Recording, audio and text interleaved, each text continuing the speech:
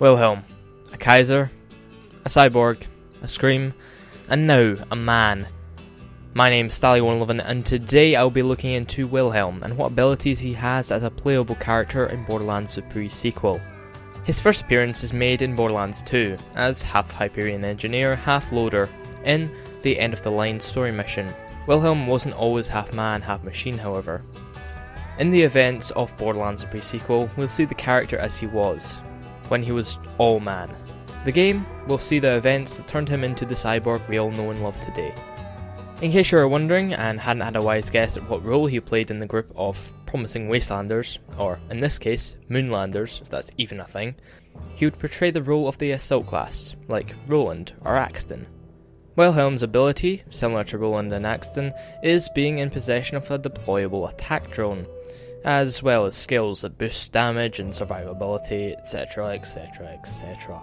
Upgrading Wilhelm's cyborg augmentation skills from the Cyber Commando skill tree will, over time, add robotic parts to his body, as well as giving him a more robotic voice, possibly leading up to his final form in Borderlands 2. Wilhelm's action skill is called Wolf and Saint. This lets you summon two drones that will assist you while you trek through the enemy infested moon of Pandora. The reason it is called Wolf and Saint is due to the fact they're two different things. The wolf will be a hunter, similar to an actual wolf, going after your prey and possibly assisting you in battle, while the saint is more a loyal defender, staying by your side, who can also give you some additional healing if needed. We can see the skill in action during the boss fight with him in the second title of the franchise, Borderlands 2. As per usual with Borderlands characters, Wilhelm has three skill trees Hunter Killer, Cyborg Commando, and Dreadnought. The Hunter Killer skill tree may be easy to tell what sort of skills are within it, damage, and increased ability of the drone, whether it be increased damage of it or replacements.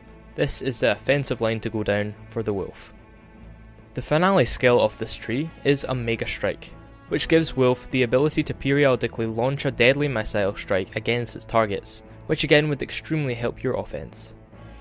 The Cyber Commando tree is more orientated around Wilhelm himself and his damage or crit chance, but as it says in the name, it involves cybernetics. This is the tree that holds the skills to put your cybernetics to use. The finale skill of this tree is Vengeance Cannon. This is an epic shoulder mounted cannon that is created every time your shield is depleted. The cannon fires incendiary laser blasts at your opponents and corresponds to where you're firing with your own equipment. The Dreadnought tree concentrates on health, healing, elemental, and your Saint Drone. The final skill point of this tree is Overcharge.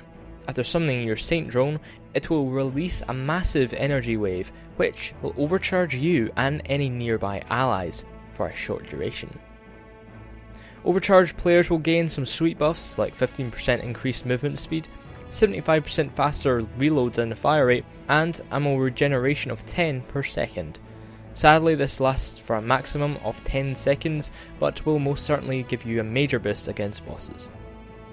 Thanks for joining me on this brief recap of Wilhelm and a little insight into what his powers are going to be like in the game. Please tell me what you want me to do next, possibly a deeper dig into Wilhelm's backstory, or anything else, just tell me in the comments. If you enjoyed this video, make sure to drop a like, drop a comment, and subscribe if you've not done so already. My name is Stalli111. See you guys on the next one.